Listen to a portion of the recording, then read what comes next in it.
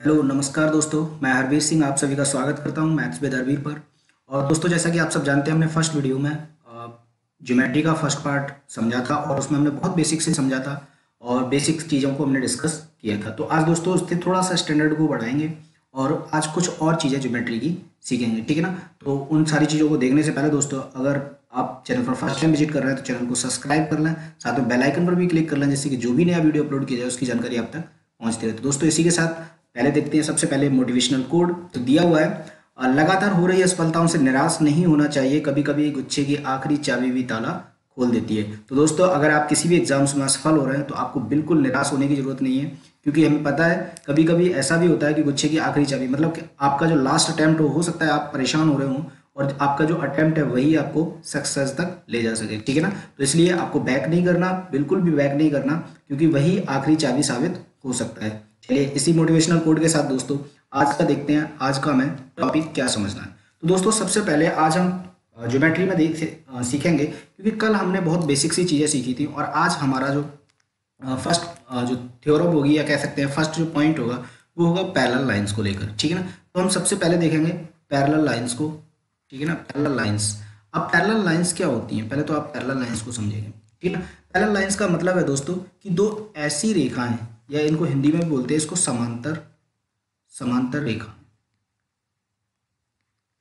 ठीक है ना? समांतर रेखा। इसका मतलब है कि दो ऐसी लाइंस जो ऐस, दो ऐसी लाइंस जो कभी भी आपस में नहीं टकराए। मतलब वो किसी भी पॉइंट पर जाकर के आपस में नहीं मिले। और इनके जो बीच की डिस्टेंस है ये डिस्टेंस है जो एच हाइट है इनके बीच की परपेंडिकुलर हाइट ये क्या है? परपेंडिकुलर हाइट ये ऑलवेज इक्वल रहेगी। ये कभी भी चेंज नहीं होगी। मतलब इन दोनों के बीच की डिस्टेंस कभी भी चेंज नहीं होगी ओके तो ये क्या हो जाएँगे हमारी? दो पैरल लाइंस हो मतलब पैरल लाइन्स के बीच की डिस्टेंस कभी भी चेंज नहीं होती है। अब दोस्तों, इसके बाद आता है ट्रांसवर्सल लाइन्स ठीक है ना? तो ट्रांसवर्सल लाइन क्या होती है? ट्रांसवर्सल लाइन्स ट्रांसवर्सल लाइन्स क्या होती है? तो ट्रांसवर्सल लाइन्स का मतलब होता है कि दो पैरल लाइन्स मैंने एक पैरल लाइन्स ये ली, एक ये ली और इसको ट्रांसवर्सल लाइन कोई भी लाइन इसको कट कर रही है इंटरसेक्ट कर रही है, ठीक है ना? इसको बीच में से या कहीं से भी कट कर रही है तो वो लाइंस क्या हो जाएगी? ट्रांसवर्सल मतलब मैं इस लाइन को एम लिख दूँ तो जो एम लाइन होगी, वो क्या होगी हमारी? ट्रांसवर्सल लाइन होगी क्लियर है ना? एम क्या होगी? ट्रांसवर्सल लाइन अब जैसे मैंने ये दो पैरल लाइन्स ले ली लाइक एम और सॉरी इसको ए बी ले लो ए बी ठीक है ना? तो जो ए और बी जो दो पैरल लाइन्स हैं, इनको जो कट कर रही है, वो लाइन क्या हो जाएगी? ट्रांसवर्सल लाइन हो जाएगी। अब चलिए इसमें थ्योरम समझते हैं, इसमें समझने वाली पॉइंट क्या है? तो उसको हम देखते हैं। दोस्तों, जैसे मैंने यहाँ पे दो पैरल लाइन्स ले ली। लाइक ऐसे समझो कि मैंने दो पैरल लाइन्स ली। ये। मैंने इसको दिया एल ये दिया मैंने एम दो पैरल लाइन्स हैं एल और एम और मैंने एक ट्रांसवर्सल लाइन ले ली एम ठीक है ना? ये एन दे दो इसको ट्रांसवर्सल या फिर पी कह सकते हैं इसको। ठीक है ना? तो मैंने ये ट्रांसवर्सल लाइन एन ले ली। और मैंने यहाँ पे कुछ एंगल्स अब देखो, आप यहाँ पे देखेंगे कि जो ट्रांसवर्सल लाइन एल है एन है, वो एल और एम पर कुछ एंगल्स बना रही है, ठीक है ना? कुछ एंगल बना रही है। जैसे यहाँ पे देखेंगे, इस एंगल को मैं नंबर दे दूँ नंबर वन इसको मैं नंबर दे दूँ टू इसको नंबर दे दिया मैंने थ्री और इसको नंबर दे दिया मैंने फोर ऐसे ही आगे, ये फाइव ये सिक्स ये सेवन और ये एट ठीक है ना? तो ये एंगल जो मैंने बनाए one two three four five six तो इसका मतलब क्या है? इसको आप देखेंगे तो यहाँ पर जो हमारा सबसे पहले, आप सबसे पहले पॉइंट डालेंगे इसमें करस्पॉन्डिंग एंगल ठीक है ना? करस्पॉन्डिंग एंगल तो करस्पॉन्डिंग एंगल कौन से होते हैं? करस्पॉन्डिंग एंगल अब करस्पॉन्डिंग एंगल्स की बात करेंगे जिसे हम बोलते हैं संगत कोण। संगत कोण। तो संगत कोण कौन से हैं? संगत कोण का मतलब होता है दोस्तों कि दो ऐसे एंगल जो जो ट्रांसवर्सल लाइन है वो आ, क्या कर रही है इसको? कट कर रही है और उनमें ट्रांसवर्सल मतलब जो संगत कोण होंगे मतलब एक जैसे कोण तो वो कौन से होंगे? तो एक जैसे कोण का मतलब है, दोस्तों, जो एंगल एक होगा और एंगल पाँच होगा, ये दोनों क्या होंगे? हमारे इक्वल एंगल होंगे। एंगल एक और एंगल पाँच मतलब हम यहाँ पे कह सकते हैं एंगल एक इक्वल होगा एंगल पाँच के। क्लियर है ना? एंगल एक इक्वल होगा एंगल पाँच के। ऐसे आप देख रहे होंगे यहाँ पे कि एंगल टू एंगल सिक्स के इक्वल होगा। तो यहाँ पे लिख सकते हो एंगल टू इक्वल होगा एंगल सिक्स के। ऐसे अगर मैं बात करूँ एंगल फोर इक्वल होगा एंगल एट के तो यहाँ पे आप लिख सकते हैं angle four equals to angle eight and angle three equals to angle seven okay अब ये हो जाएगा। इसके बाद देखते हैं दोस्तों कुछ हमारे एंगल्स और आते हैं। जैसे हम आ, बोलेंगे जैसे मैंने एक और लिखा ये करस्पॉन्डिंग एंगल्स हो गया। इसके बाद आप देखेंगे कि हमारा आता है वर्टिकली अपोजिट एंगल्स ठीक है ना? तो वर्टिकली हम एंगल्स कौन से होते हैं? वर्टिकली अपोजिट की बात करेंगे। सेकेंड नंबर पर डालेंगे आप। वर्टिकली अपोजिट एंगल अब वर्टिकली अपोजिट एंगल कौन से होंगे तो वर्टिकली अपोजिट का मतलब है कि वर्टेक्स पर वर्टिकली का मतलब क्या है? वर्टेक्स वर्टेक्स का मतलब कॉर्नर यहाँ पे ये मीट कर रहे हैं, जो ट्रांस इंटरसेक्शन पॉइंट है, इस पर जो मीट कर रहे हैं तो यहाँ पर जो एंगल अपोजिट है मतलब एंगल वन किसके अपोजिट है? एंगल थ्री के. तो इसका मतलब है एंगल वन इक्वल होगा एंगल थ्री के. ऐसे एंगल टू इक्वल होगा एंगल फोर के. एंगल फोर ऐसे ही हम यहाँ पे लिख सकते हैं कि एंगल फाइव इक्वल होगा। इसको कॉमा लगा दें। एंगल सेवन के। एंड एंगल सिक्स इक्वल होगा एंगल एट के। क्लियर है ना? तो ये कौन से हो गए हमारे? वर्टिकली अपोजिट एंगल अब हम बात करते हैं अल्टरनेटिव एंगल्स ठीक है ना? तो हमारा आ जाएगा अल्टरनेट एंगल्स तो थर्ड पॉइंट डालेंगे। अल्टरनेट एंगल अब दोस्तों अल्टरनेट एंगल कौन से होते हैं? अल्टरनेट एंगल को बोलते हैं एकांतर कोण। एकांतर कोण कौन से होंगे? तो मैं थोड़ा सा इरेज कर दे रहा हूँ इसको। इससे आपको ये समझ आ जाए।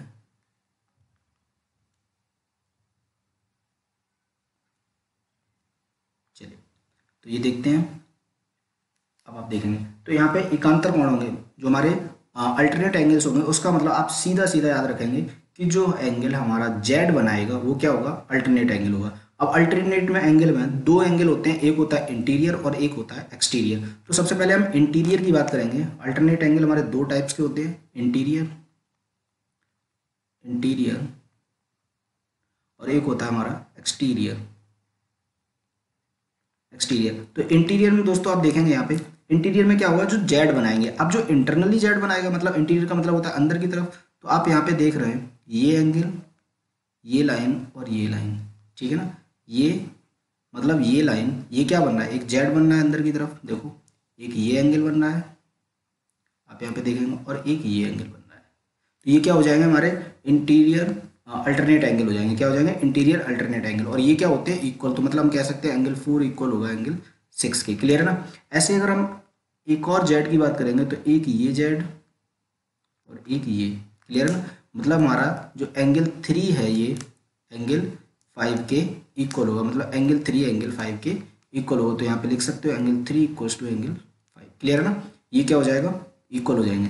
ऐसे अगर हम एक्सटीरियर की बात करें दोस्तों तो एक्सटीरियर कौन से हो जाएँगे?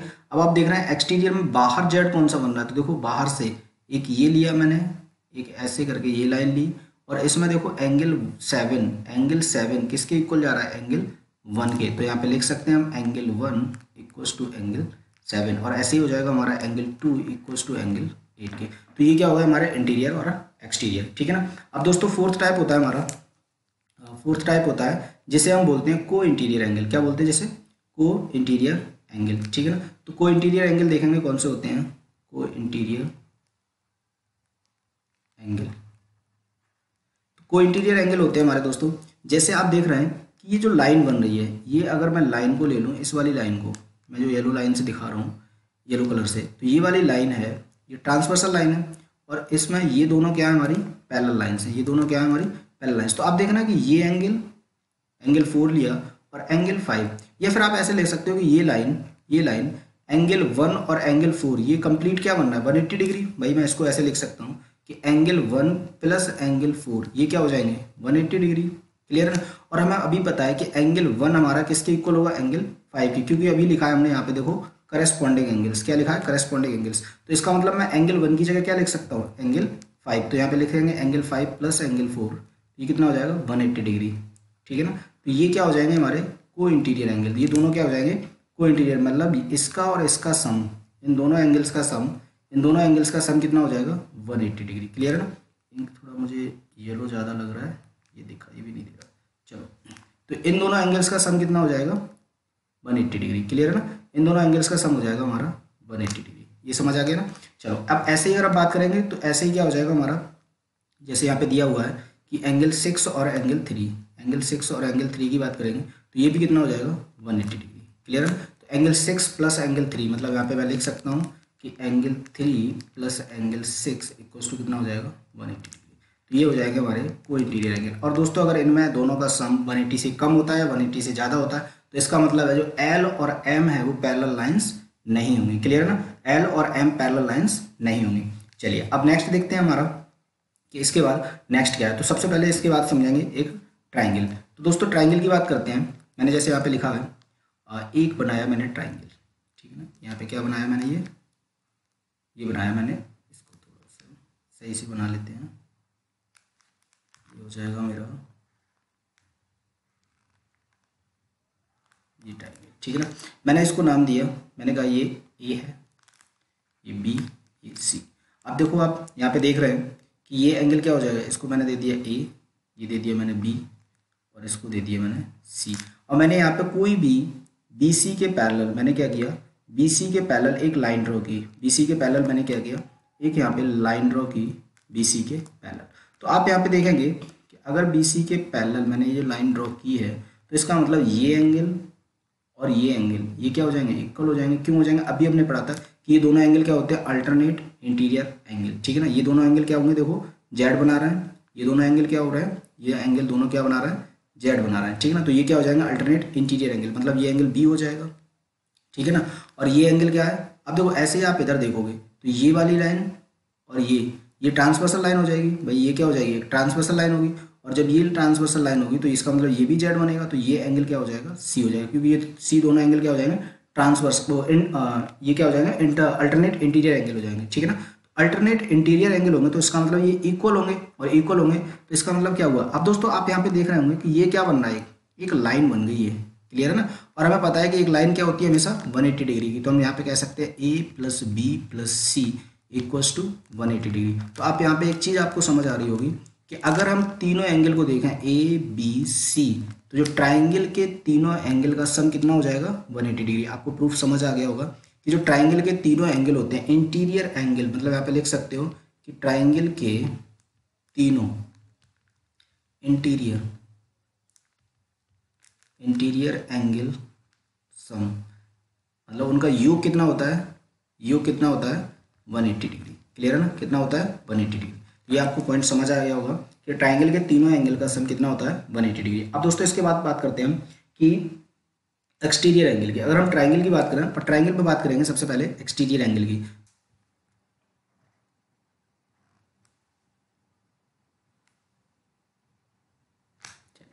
तो ये बन गया। अब मैंने अभी क्या कहा था कि ये ए है, ये बी है, ये सी है। तो आप दोस्तों देखेंगे कि अगर मैं इस लाइन को ऐसे आगे बढ़ा दूँ ठीक है ना?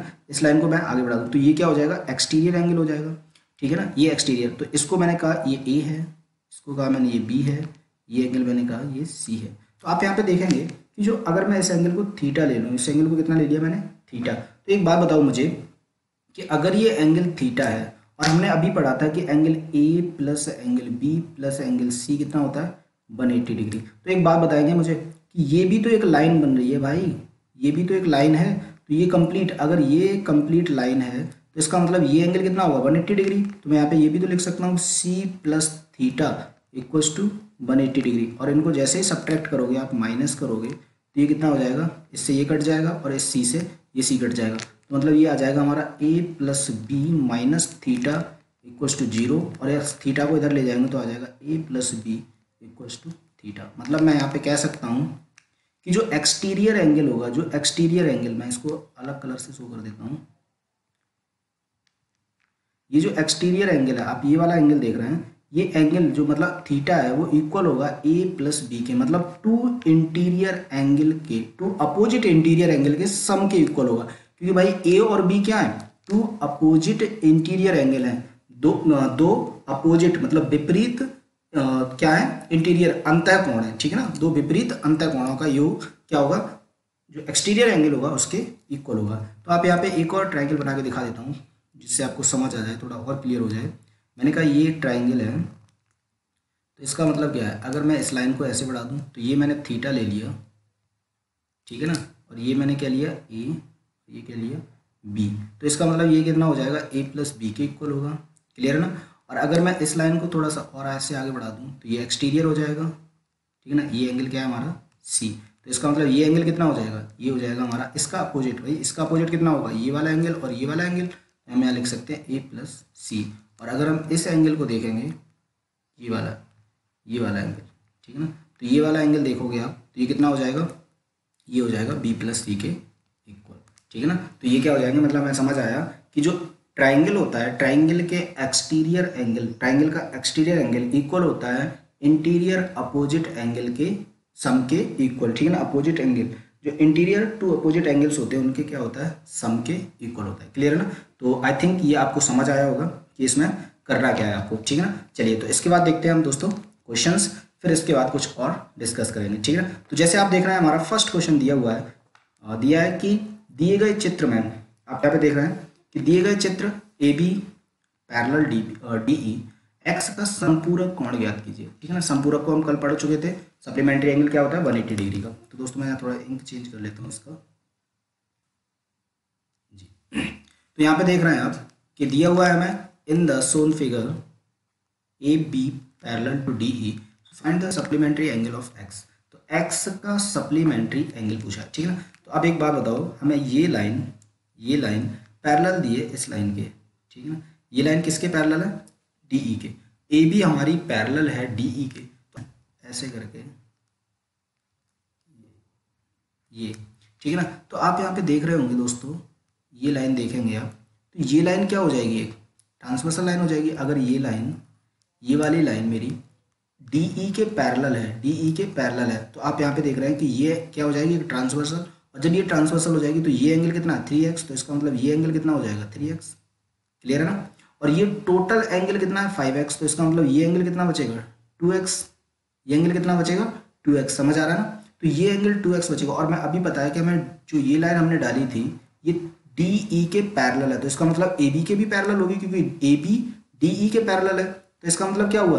कि जब ये लाइन पैरल होगी तो हमें पता है कि ये एंगल और ये एंगल दोनों का सम कितना होगा?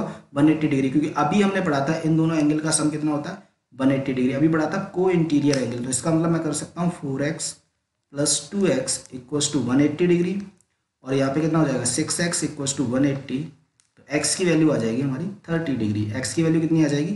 थर्टी डिग्री अब एक बात बताओ, इसका पूछा गया है सप्लीमेंट्री एंगल क्या पूछा गया है? सप्लीमेंट्री एंगल समपूरक कोण। तो हमें पता है कि समपूरक कोण का मतलब क्या होता है? कि दोनों एंगल का सम कितना होता है? वन एट्टी डिग्री तो मतलब यहाँ पे संपूरक एक्स का संपूरक कितना हो जाएगा? वन एट्टी माइनस थर्टी तो ये कितना आ जाएगा? वन फिफ्टी डिग्री क्लियर है ना? तो जो हमारा करेक्ट आंसर होगा वो हो जाएगा बी ऑप्शन करेक्ट हो जाएगा। आई होप कि आपको ये समझ आया होगा। नेक्स्ट क्वेश्चन देखते हैं। नेक्स्ट क्या है? अब नेक्स्ट क्वेश्चन आप देखना हैं यहाँ पे कि in the given figure figure below A B parallel to C D मतलब जो ए बी है, जो ये लाइन है हमारी, ये वाली, ये क्या है? सी डी के पैरल है। क्लियर ना? ए बी क्या है? सी डी के पैरेलल है। और हमसे कहा गया है कि find the value of X X की वैल्यू पूछिए तो इसको आप बहुत इजीली कर सकते हो। देखो, एक बात बताऊँ। अगर ए बी सी डी के पैरेलल है तो इस लाइन को मैं इस लाइन को मैंने ऐसे करके आगे बढ़ा दिया। ठीक है इस लाइन को अगर मैंने आगे बढ़ा दिया तो आप देख रहे हैं कि ये लाइन क्या हो जाएगी? ये कंप्लीट लाइन हमारी ट्रांसवर्सल लाइन हो जाएगी। ये क्या होगी? ये कंप्लीट लाइन ट्रांसवर्सल लाइन हो जाएगी। और अगर ये ट्रांसवर्सल लाइन है तो ये एंगल हमें दिया है 180 डिग्री। ये एंगल कितना दिया सॉरी 110 डिग्री। तो इसका मतलब ये एंगल कितना हो जाएगा? भाई, दोनों का सम अभी बताया था, ये दोनों एंगल क्या हो जाएँगे? को इंटीरियर तो इनका सम कितना होगा? 180 तो मतलब इसका मतलब ये 110 है तो ये कितना हो जाएगा? ये 70 डिग्री होगा। क्लियर है ना? अब इस छोटू ट्राइंगल को देखो। देखो, मैं इसको रेड ले लेता हूँ। आप इस छोटू ट्राइंगल को देखो। इस वाले ट्राइंगल को, ठीक है ना?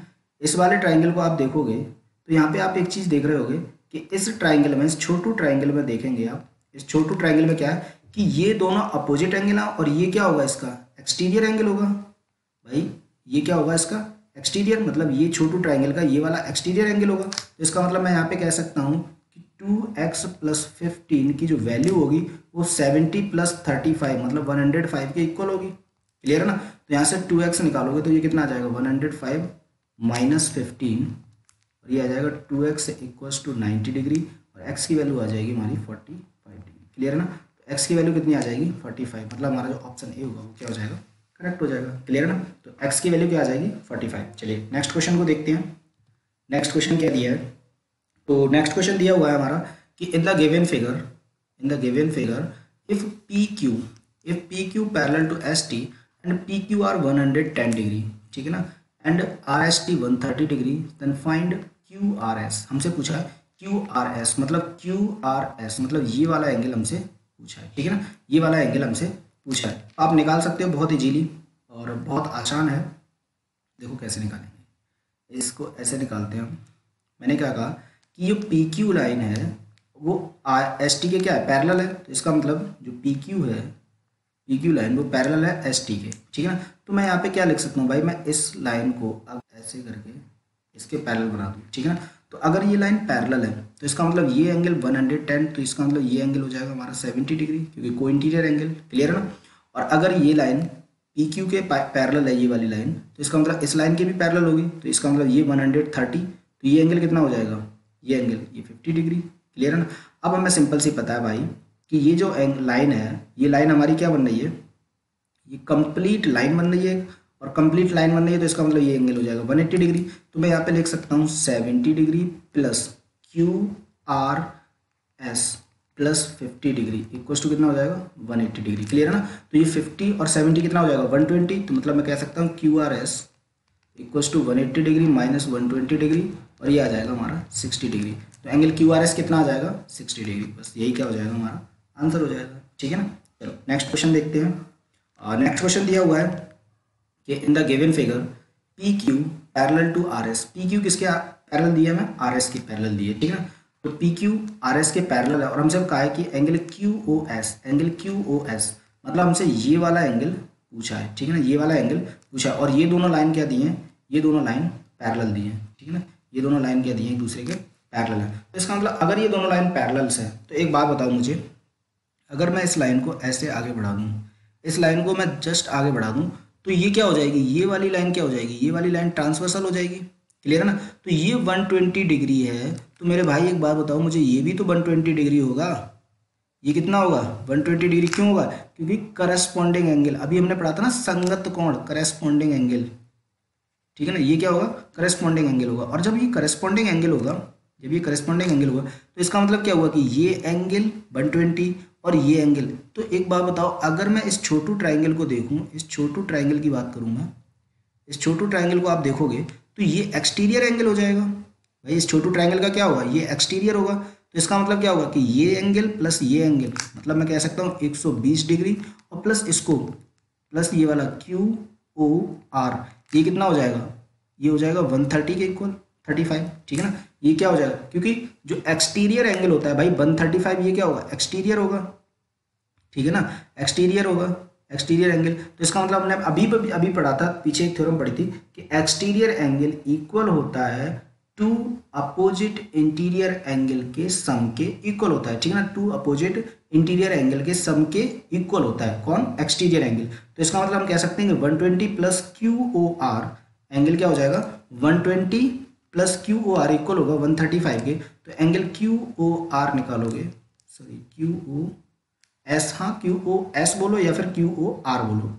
सॉरी आर नहीं होगा, क्यू ओ एस होगा। यहाँ पे एस करेंगे, आर नहीं आएगा, एस आएगा। ठीक है ना? ये कितना आ जाएगा? S.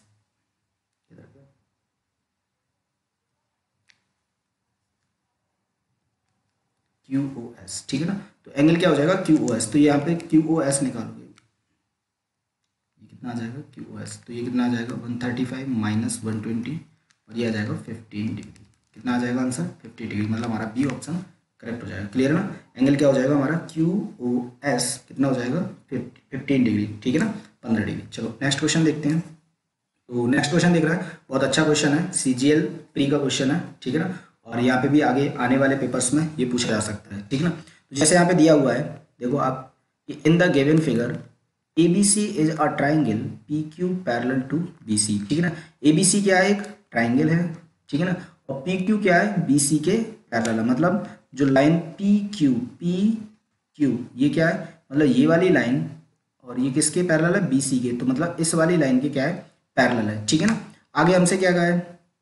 And Q R is angle Y bisector of P Q C मतलब जो एंगल पी क्यू सी है, ये वाला जो एंगल है, इसका, जो क्यू आर है, ये वाली जो लाइन है, वो क्या है? एंगल बाइसेक्टर ये क्या है हमारी? एंगल बाइसेक्टर तो इसका मतलब मैंने कहा कि अगर ये एंगल थीटा है तो ये भी एंगल थीटा होगा। क्लियर ना? क्योंकि ये दोनों लाइनें क्या है? ये लाइन एंगल बाइसेक्टर है तो इसको हमने पूरा टू थीटा ले लिया। तो इसका मतलब ये एंगल कितने हो जाएँगे? थीटा थीटा ठीक है ना? इक्वल हो जाएँगे। अब हमसे देखो आगे क्या कहा है कि एंगल पी क्यू सी का क्या है? समद्विभाजक अगर हमसे कहा आगे कि आर सी पंद्रह डिग्री है। आर सी कितना है? पंद्रह डिग्री। ये वाला पंद्रह डिग्री एंगल है। ठीक है ना? तो आगे हमसे पूछा तब भुजा क्यू सी की वैल्यू हमसे पूछा है, ये वाली वैल्यू क्या होगी? ठीक है ना? इसका मान क्या होगा यहाँ तक। ठीक है ना? क्यू सी की वैल्यू पूछी हमसे। अब निकालते हैं यहाँ से। देखो, हमसे क्या कहा है दोस्तों? ये लाइन ये लाइन इस लाइन के क्या है? पैरेलल है। ठीक है ना? ये लाइन इस लाइन के क्या है? पैरेलल है। तो एक बात बताओ मुझे अगर ये एंगल थीटा है, ये एंगल थीटा है, ठीक है ना? या फिर हम कह सकते हैं कि ये ये वाला एंगल आप देखो, ये लाइन पैरेलल है, ठीक है ना? इस लाइन के। तो ये एंगल मैं यहाँ से ब्लू पेन ले ले रहा हूँ। इससे थोड़ा समझ आए आपको। देखो, ये एंगल अगर मैंने कहा थीटा है तो एक बात बताओ, और ये क्या हो जाएगी? एक ट्रांसवर्सल लाइन हो जाएगी, ठीक है ना? ये लाइन क्या होगी हमारी? ट्रांसवर्सल लाइन होगी किसके लिए? पी क्यू के लिए, ठीक है ना? क्यू के लिए, क्योंकि पी क्यू और पी आर बी जो बी सी है, ये क्या है? पैरेलल है। तो इसका मतलब ये अगर ट्रांसवर्सल लाइन है तो ये थीटा होगा तो इसका मतलब ये भी एंगल थीटा होगा। ठीक है ना? और ये एंगल थीटा होगा। और हमें पता है कि ये अगर थीटा है तो इसका मतलब हमारा खेल हो गया, यहीं पे ख़त्म। क्यों हो गया? क्योंकि भाई, मुझे एक बात बताओ।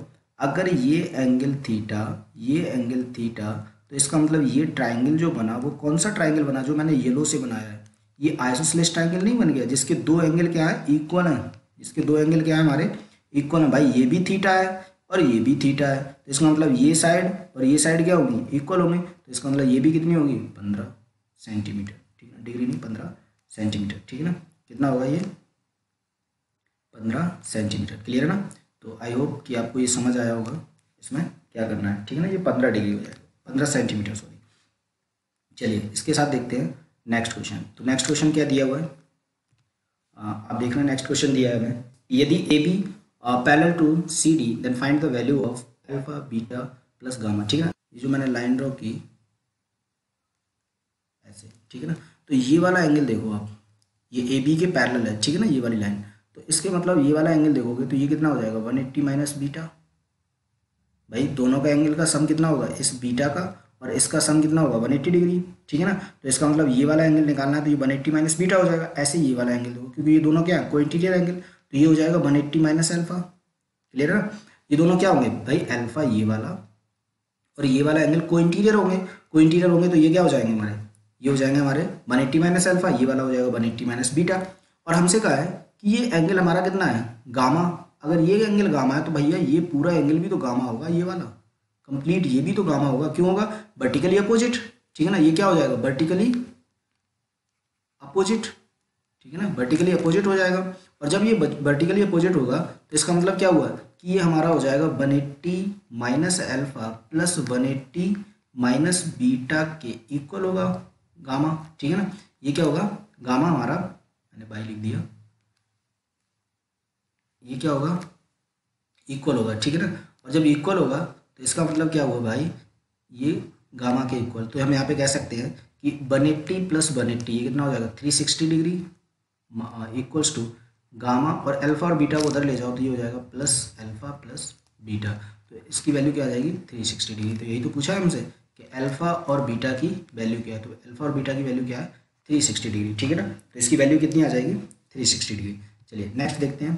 तो दोस्तों दोस्तों, जैसे आप देख रहे हैं यहाँ पे कि नेक्स्ट समझेंगे हम एक कॉन्सेप्ट ठीक है ना? उसके बाद क्वेश्चन लगाएँगे। तो क्योंकि हमारे जो कुछ क्वेश्चन दिए हैं, वो कुछ ऐसे दिए हैं, और इसमें एक कॉन्सेप्ट समझ लेते हैं, उसके बाद हम चलेंगे अगले मतलब क्वेश्चंस को करने में। तो दोस्तों, इसका नाम डालेंगे आप कैंची फिगर ठीक है ना? क्या डालेंगे इसका? कैंची फिगर अब देखो, कैंची फिगर कैसे करते हैं? कैंची फिगर का क्वेश्चन ठीक है ना? कैंची फिगर तो कैंची फिगर में जैसे आपको दिया है, जैसे मैंने एक ऐसे करके बनाया इसको, ठीक है ना? इसको ऐसे बनाया ठीक ये दिया अब मैंने इसको एंगल दे दिया, कोई भी अल्फ़ा इसको दे दिया मैंने बीटा इसको कोई भी दे दिया गामा ठीक है? और ये एंगल कह दिया मैंने, ये है थीटा ये कितना है?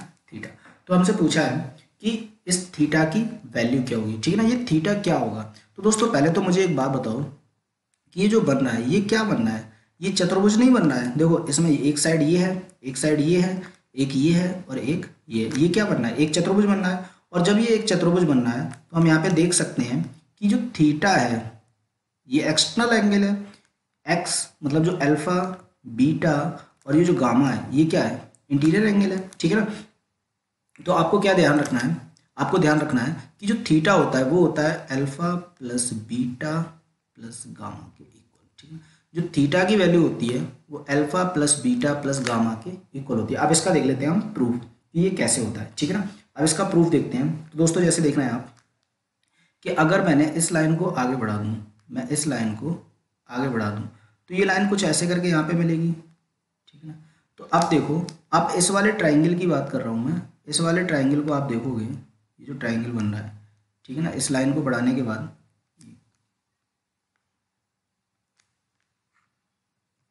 इसको रुक जाओ, मैं अभी दोबारा से डायग्राम बना के दिखा कैची फिगर में जैसे मैंने कहा कि ये एक ट्राइंगल है क्वाड्रिलेटरल ठीक है? ये क्या है एक क्वाड्रिलेटरल आप समझना तो ये मैंने कहा ये बीटा है, ये अल्फ़ा है, ये थीटा है और ये गामा है।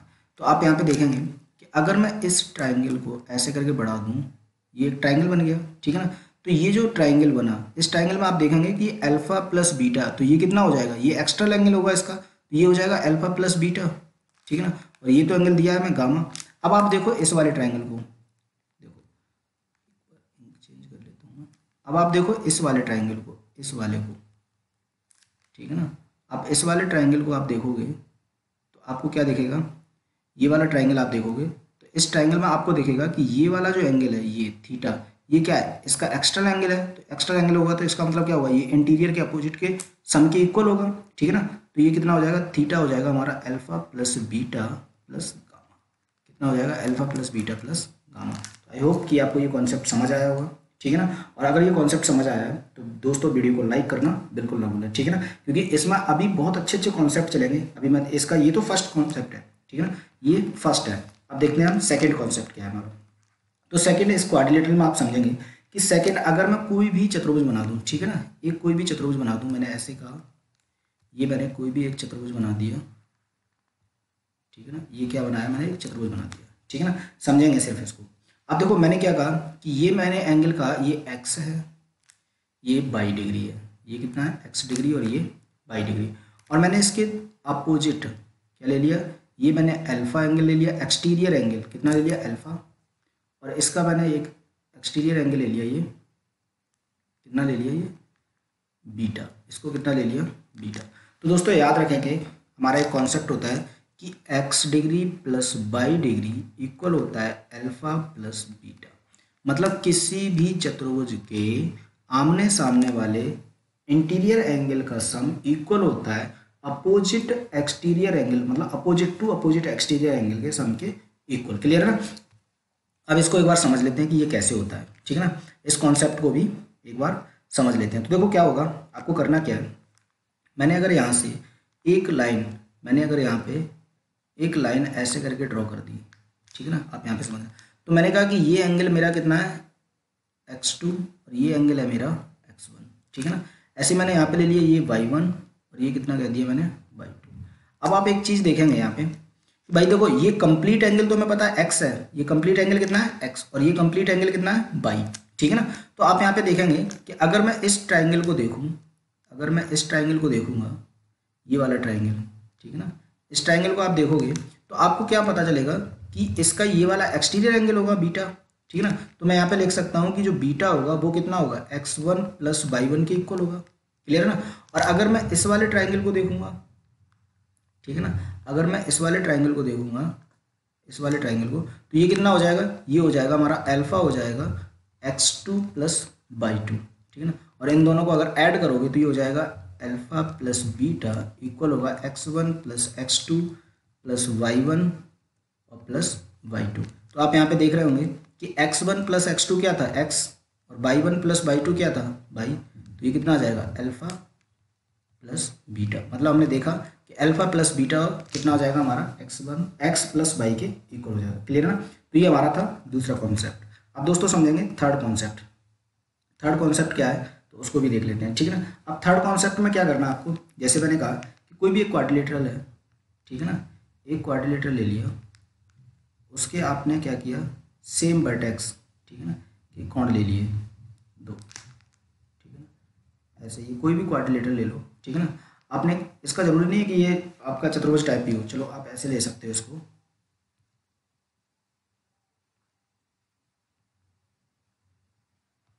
ऐसे भी कर सकते हो। जैसे ये ऐसे ले लिया ठीक है ना? तो आप कुछ भी ले सकते हो कोई ज़रूरी नहीं है कि आप ऐसा ही लो ठीक है ना?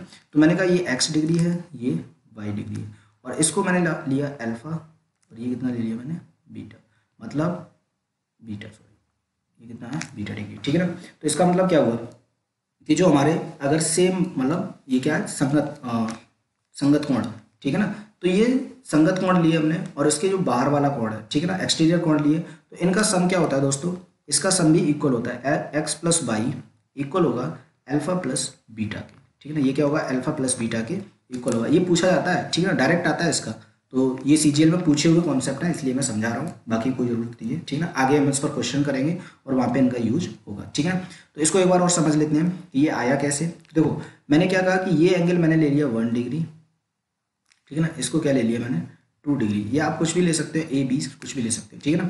तो एक बात बताओ मुझे कि मुझे पता है कि जो चारों एंगल होंगे हमें पता होता है कि जो आ, हमारे जो एंगल होते हैं चारों किसी भी चतुर्भुज के चारों एंगल का सम इंटीरियर चारों एंगल का सम कितना होता है? वन एट्टी वो थ्री सिक्सटी डिग्री तो हम यहाँ पे ये नहीं कह सकते कि X plus Y plus one plus two equal होगा थ्री सिक्सटी डिग्री क्लियर है ना?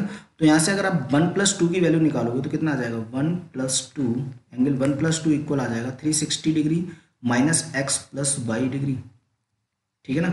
Minus X plus Y degree अब एक बात बताओ मुझे कि अगर मैं वन डिग्री ये लाइन की बात करूँ मैं, इस लाइन की तो ये एंगल कितना हो जाएगा भैया? वन डिग्री निकालोगे यहाँ से तो वन डिग्री की वैल्यू क्या आ जाएगी? वन डिग्री आ जाएगा हमारा one eighty degree minus alpha clear है ना? वन कितना आ जाएगा? One eighty degree minus alpha ऐसे ही आप टू डिग्री निकालोगे तो टू डिग्री कितना आ जाएगा? टू डिग्री आ जाएगा one eighty degree minus beta ठीक है ना? अब मैं वन और टू की वैल्यू यहाँ लगा दूँ तो ये कितना हो जाएगा? इन दोनों का सम करो। तो जब आप ऐड करोगे इन दोनों को तो ये आ जाएगा angle one plus angle two ठीक है ना? इक्वल कितना आ जाएगा? ये हो जाएगा three sixty degree minus alpha plus beta कितना आ जाएगा? एल्फा प्लस बीटा अब यहाँ पे देखो वन और टू की वैल्यू अगर मैं यहाँ पे लगाऊँ तो ये कितना आ जाएगा? ये आ जाएगा, इसको इक्वल रख दूँ मैं, किसके? Three sixty degree minus X plus Y के। ठीक है ना? तो थ्री सिक्सटी से थ्री सिक्सटी कट जाएगा और ये अल्फ़ा दोनों में माइनस से माइनस कट जाएगा तो क्या बचेगा? Alpha plus beta equals to X plus Y I hope कि आपको कॉन्सेप्ट समझ आया होगा और इस कॉन्सेप्ट में क्लैरिटी आई होगी कि आपको कैसे करना है। चलो तो इसके बाद दोस्तों, हम देखते हैं अब क्वेश्चन ठीक है ना? तो हमारे जो क्वेश्चन हैं, उनको डिस्कस करेंगे। ये तीन कॉन्सेप्ट के बाद, चलिए फ़र्स्ट क्वेश्चन दिया है। अब देखो फ़र्स्ट क्वेश्चन हमसे क्या पूछा है? नीचे दिए गए चित्र में एक्स का मान ज्ञात कीजिए, ठीक है ना? एक्स की वैल्यू पूछिए हमसे, ठीक है ना?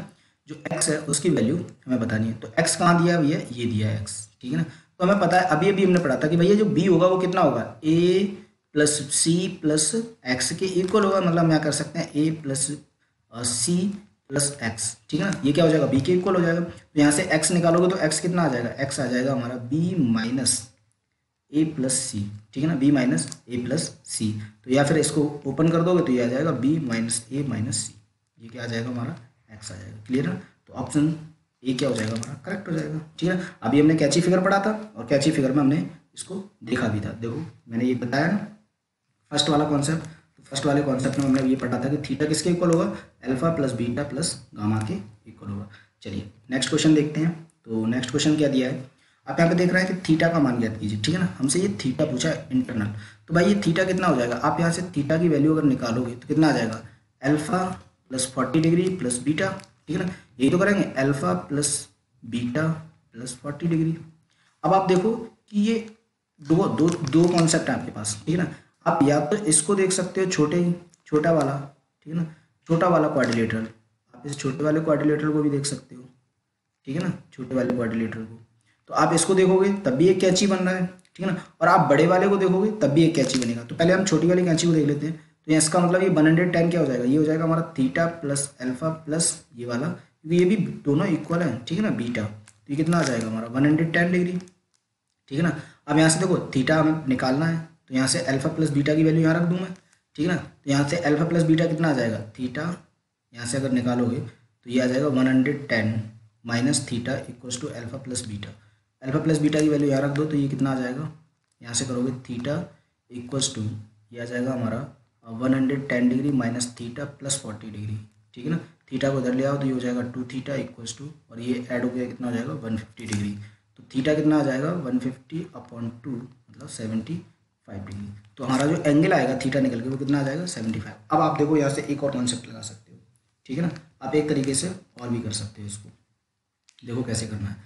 अब मैं यहाँ पे एक चीज़ देखूँ। इसको मैं थोड़ा सा एरेज कर देता हूँ।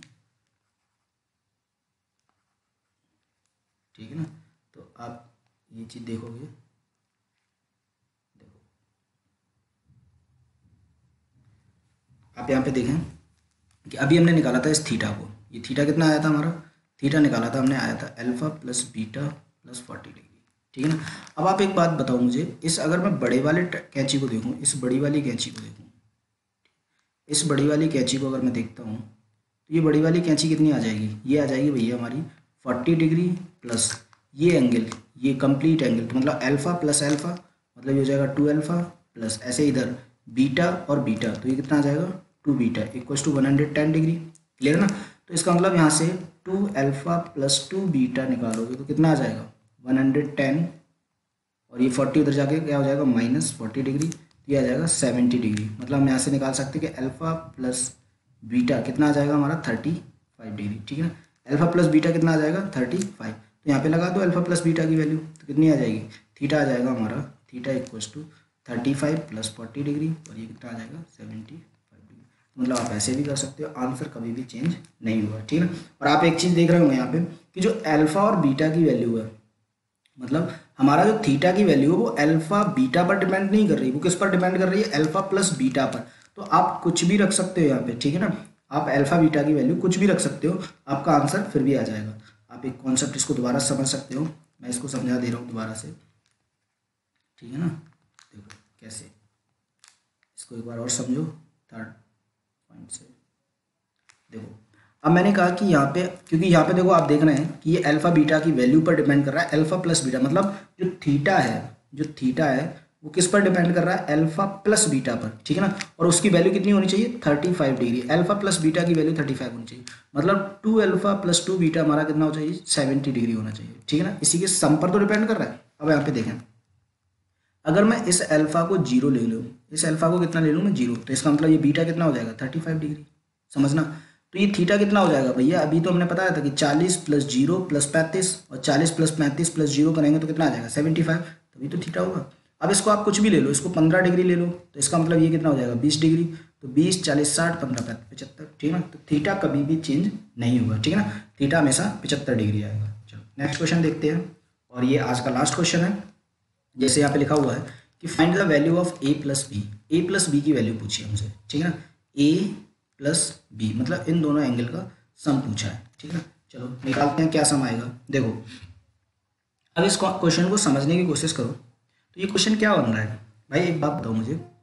कि ये एंगल अगर 130 डिग्री है, ये एंगल कितना है? 130 डिग्री तो इसका मतलब ये एंगल कितना होगा? तो आप कहोगे, बिल्कुल, ये भी 130 डिग्री होगा। क्यों होगा भैया? क्योंकि ये क्या हो जाएगा? वर्टिकली अपोजिट एंगल ठीक है ना? ये क्या हो जाएगा? वर्टिकली अपोजिट एंगल ठीक है ना? अगर ये वर्टिकली अपोजिट एंगल होगा तो इसका मतलब ये वन थर्टी डिग्री अब एक बात बताओ दोस्तों, कि अगर मैं इसको, अगर मैं इसको, इस लाइन को, इस लाइन को अगर मैं ख़त्म कर दूँ, ठीक है ना? इस लाइन को अगर मैं ख़त्म कर दूँ तो आप देखेंगे यहाँ पे, इस लाइन को मैं जैसे ही ख़त्म करूँगा यहाँ से, आपको एक एक नया चीज़ दिखाई देगा। ठीक है ना आप इसको ख़त्म करो। और जैसे ही आप ख़त्म करोगे तो अब आप मुझे एक बात बताओ, ये क्या बन गया? ये क्या बन गया? ये कैंची फिगर नहीं बन गया? अब आप कहोगे कि ये तो कैंची फिगर बन गया। और अगर ये कैंची फिगर है, अगर ये कैंची फिगर है तो इसका मतलब मैं यहाँ पे कह सकता हूँ कि a plus B plus fifty degree a plus B plus fifty मतलब a plus B plus fifty degree कितना हो जाएगा? वन थर्टी के इक्वल होगा। तो मैं कर सकता हूँ ना fifty plus A plus B equals to one thirty degree तो यहाँ से a प्लस बी की वैल्यू निकालोगे तो कितना आ जाएगा भैया? ये आ जाएगा हमारा एट्टी डिग्री कितना आ जाएगा? एट्टी डिग्री मतलब ए प्लस बी कितना होगा हमारा? एट्टी कितना होगा? एट्टी डिग्री क्लियर है ना? तो ए प्लस बी की वैल्यू आ जाएगी हमारी एट्टी डिग्री आई होप कि आपको ये क्वेश्चन समझ आया होगा। ठीक है ना? और नहीं समझ आया दोस्तों तो आप कमेंट्स करना बिल्कुल ना भूलें। कमेंट्स करके बताएँ कि आपको ये क्वेश्चन क्लियर हुआ या नहीं हुआ। इसको हम नेक्स्ट वीडियो में डिस्कस करेंगे। ठीक है ना दोस्तों? तो दोस्तों इसी के साथ आपको वीडियो पसंद आया हो तो वीडियो को लाइक कर दें शेयर कर दें अपने दोस्तों को, और चैनल को सब्सक्राइब करना बिल्कुल ना भूलें। ठीक है ना? इसी के साथ दोस्तों, मैं आपसे विदा लेता हूँ। जय हिंद, जय भारत।